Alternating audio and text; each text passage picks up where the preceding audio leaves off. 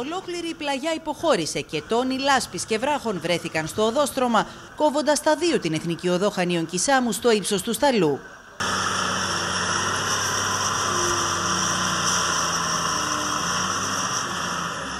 Η κατολίσθηση σημειώθηκε γύρω στις 10.30 το πρωί, την ώρα που κλιμάκια του Δήμου Πλατανιά και της Περιφερειακής Ενότητας Χανίων πραγματοποιούσαν αυτοψία στα σημεία του οδικού δικτύου που παρουσίαζαν τα μεγαλύτερα προβλήματα. Την ώρα που ερχόμαστε έγινε αυτή η κατολίσθηση. Είναι από τις πιο μεγάλες που έχουν γίνει στα, στα Χανιά τουλάχιστον, στον βόρειο άξονα.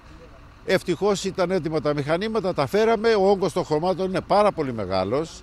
Δεν είναι μικρός, εκτιμώ ότι είναι 2.000 κυβικά και πρέπει να βρούμε χώρο και πού θα τα αναποθέσουμε και πώς θα τα βγάλουμε.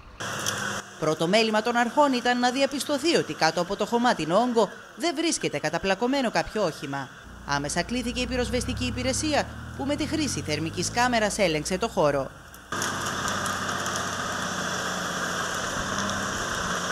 Με τη βοήθεια της θερμικής κάμερας ανοιχνεύσαμε ότι δεν υπάρχει κάποιο άτομο καταπλακωμένο και θα αναμένουμε τις επόμενες ε, ώρες να γίνει η απομάκρυνση εδώ πέρα των ε, αδρανών υλικών.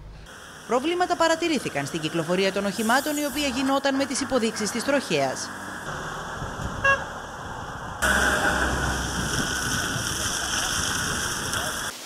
Από τις έντονες καταιγίδες που εκδηλώθηκαν χθες, καταγράφηκαν καταπτώσεις βράχων σε δεκάδες σημεία του βόρειου οδικού άξονα. Για αντλήσεις υδάτων κλήθηκε η πυροσβεστική υπηρεσία σε περιοχές του Πλατανιά και των Χανίων. Στο Πλατάνι χρειάστηκε να διακοπεί η κυκλοφορία των οχημάτων προκειμένου να απομακρυνθούν λάσπες και βράχια που είχαν πέσει στο ρεύμα προς Ρέθυμνο. Μηχανήματα της περιφέρειας Κρήτης εργάζονται από νωρίς το πρωί προκειμένου να αποκαταστήσουν τα σοβαρά προβλήματα που προέκυψαν στο εθνικό οδικό δίκτυο από τη χθεσινή κακοκαιρία. Είμαστε από χθες το βράδυ που είχε κλείσει ουσιαστικά ο δρόμος στην περιοχή Κολυμπάρη Νοπίγια. Το καθαρίσαμε, ο, ο δρόμος είναι ανοιχτός μεν, αλλά θα πρέπει τα χώματα που είναι στην άκρη να φύγουν, διότι την επόμενη αεροπομπή θα κλείσει σε 5 λεπτά ο δρόμος, διότι οι λάσπες και οι πέτρες θα πούνε στο δρόμο, στον εθνικό δρόμο και θα πρέπει να απομακρυνθούν. Σε περιοχές όπως ήταν το Πολεμάρχη και άλλα χωριά όπως ήταν στο Κυπάρισο αλλά και στη Σπηλιά γίνανε πάρα πολλές κατολιστήσεις με αποτέλεσμα να παρθούν δρόμοι και να καταστραφούν οι υποδομές.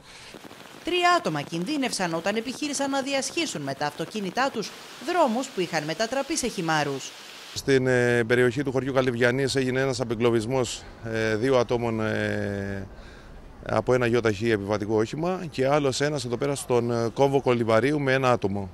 Μεγάλης έκτασης ζημιές προκλήθηκαν στο οδικό δίκτυο των Δήμων Κισάμου και Πλατανιά, ενώ καταστράφηκε τμήμα του δικτύου ίδρυυση της Μονή Γωνιάς στο Κολυμπάρι. Προβλήματα καταγράφηκαν στην υδροδότηση και ηλεκτροδότηση πολλών ακόμη περιοχών.